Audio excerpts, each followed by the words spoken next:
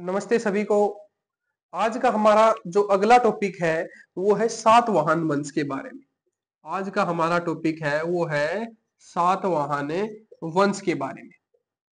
देखो, मैंने आपको बताया कि कणव वंश में जो अंतिम जो राजा है, वो था सुशर्मा। तो आपको याद रखना है, सुशर्मा है ना, सुशर्मा। सुशर्मा की हत्या कौन करता है? वो करता है सिमुक। सिमुख हत्या करता है।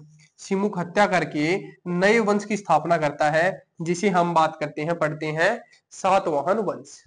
ठीक है, ये बात करें सातवाहन वंश है ना, ये दक्षिण में था। ठीक है, दक्षिण में सातवाहन वंश था, आंध्र प्रदेश और महाराष्ट्र की तरफ़। ये सातवाहन वंश था।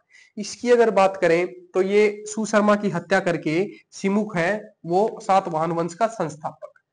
ये चीज़ याद रख लेना उसके बाद अगर बात करें इसकी राजधानी की, यदि बात करें ना राजधानी की तो आपको याद रखना प्रतिष्ठान प्रतिष्ठान या पेठन। जो बात करें गोदावरी नदी के किनारे, ये चीज़ याद रखना गोदावरी।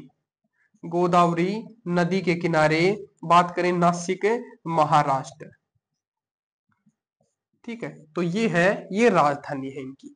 ठीक है, उसके बाद एक चीज़ याद रखना, उत्तर भारत व दक्षिण भारत है। उत्तर भारत व दक्षिण भारत के बीच बात करें तो इसे सेतु नाम दिया गया है, सेतु। सेतु किसे कहते हैं? तो सातवाहन वंश को कहते हैं। ये चीज़ याद रख लेना भाषा की यदि मैं बात करूँ सातवाहन वंश की भाषा की तो भाषा थी प्राकृत। ठीक है, प्राकृत भाषा थी। बात करें लिपि की बात करूँ तो ब्राह्मी। कौन सी लिपि? ब्राह्मी लिपि। ये याद रखना, ब्राह्मी लिपि। एक ये याद रखना कि इस वंश में क्या था कि ये मात्र सतात्मक था। कि मात्र सतात्मक मतलब कि माता का जो नाम है ना, माता का नाम, माता के नाम के साथ नाम लिखा जाता था। जो नाम है, नामकरण है, वो माता का नाम साथ लिखा जाता था नामकरण। राजकुल था वो पितृ सतात्मक था। मतलब कि जो राजा है उसका बड़ा बेटा ही उत्तराधिकारी है वो राजा बनेगा बड़ा बेटा ही। वो, वो राजकुल था वो पितृ सतात्मक था। वैसे नामकरण है वो क्या था? जो माता के नाम पर मात्र जो मात्र सतात्मक था। ये चीज़ आपको याद रखनी है। उसके बाद एक चीज़ आपको याद रखनी है इसमें सात महान वंश में एक सिक्के चलाए थे। क्या चलाए थे? सिक्के चलाए थे।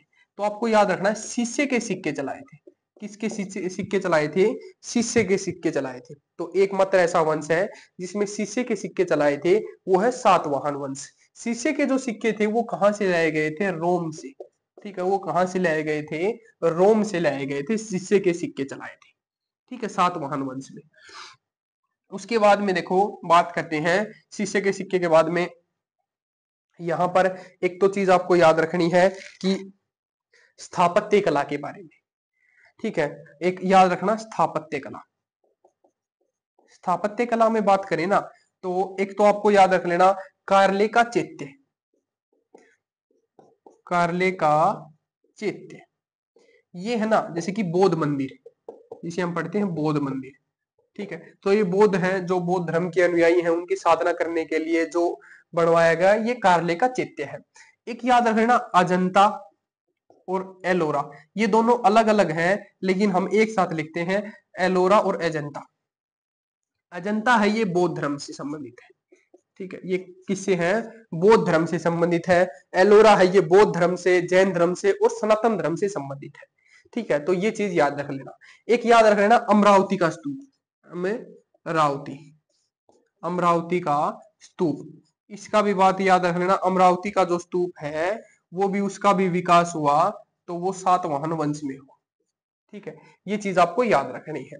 उसके बाद एक याद रखनी है कि आपको गौतमी पुत्र सतकर्णी, गौतमी पुत्र सतकर्णी।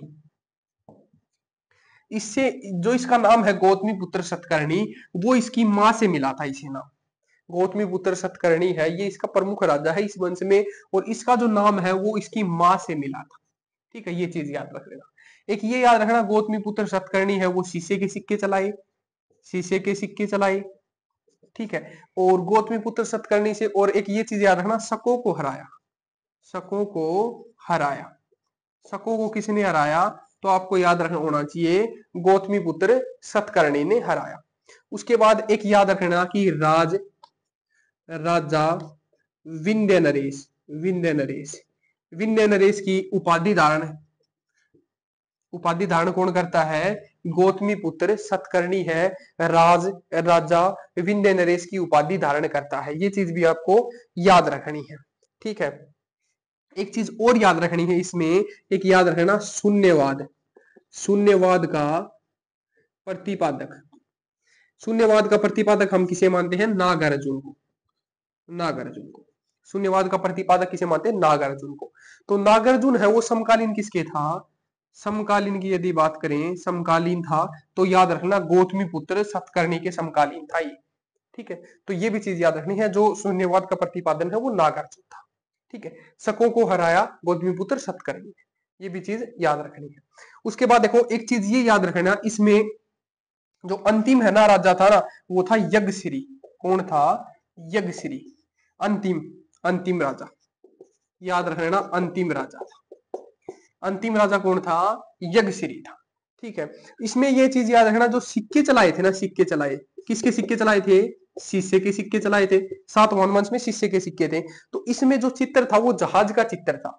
शीशे के सिक्के में बात करें, जहाज़ का चित्र था। किसका चित्र था? जहाज़ का चित्र था। तो इससे ये पता चलता है कि जो सात वाहन के वंश है, वो समुद्री व्यापार करते थे।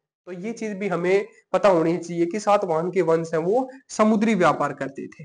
क्या करते थे? समुद्री व्यापार करते थे। इस बात की भी हमें पता चलती है सात वाहन वंश में। ठीक है तो ये जो हमारा सात वाहन वंश है, ये छोटा ही टॉपिक था, जो हमारा कंप्लीट होता है। धन्यवाद।